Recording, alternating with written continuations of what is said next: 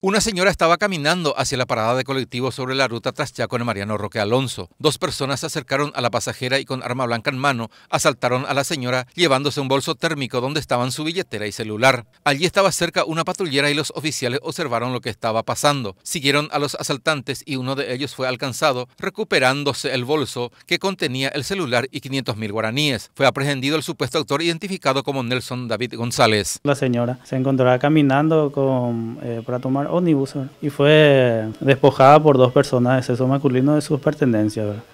Y en las inmediaciones fue aprendida por personal de esta comisaría, uno de ellos con la evidencia. Un celular, eh, en este caso de alta gama, eh, dinero en efectivo 500 mil y otras pertenencias. ¿Tenía arma? Y según la señora sí tenía eh, arma blanca, pero en este caso no pudimos incautar el, el arma. ¿Entre dos estaban o una sola? Entre dos, dos personas, dos personas. Uno de ellos se dio a la fuga. El aprehendido está en dependencias de la Comisaría Décima Central del Mariano Roque Alonso y a disposición del Ministerio Público con todas las evidencias.